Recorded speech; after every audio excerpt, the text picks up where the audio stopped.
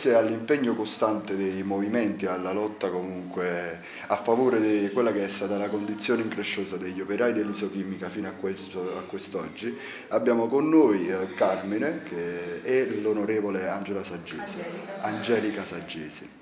Eh, allora Carmine, ci vuoi un attimo parlare di questo grande successo, insomma, come sei riuscita ad ottenere?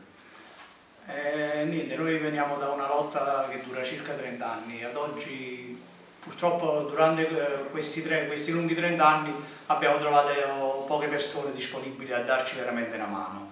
Uh, fino a quando non siamo arrivati alla, ai medici dell'Iste, al dottore, al, al, professore Polverino e in ultimo abbiamo avuto il piacere di conoscere la, la senatrice Saggese la quale si, è, si è impegnata, ci aveva promesso che si impegnava rispetto a questa vertenza e devo dire, devo, dobbiamo riconoscere che è stata veramente una persona seria merita tutto il nostro rispetto e il nostro ringraziamento.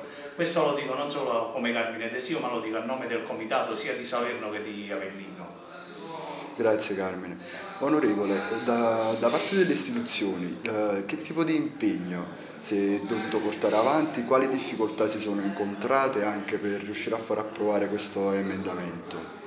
Devo dire che è stato bello e per me veramente gratificante riuscire ad aiutarli perché stato un emendamento che ha raccolto la sensibilità di tutto il Partito Democratico, devo riconoscere che sia del governo sia di tutto il Partito Democratico.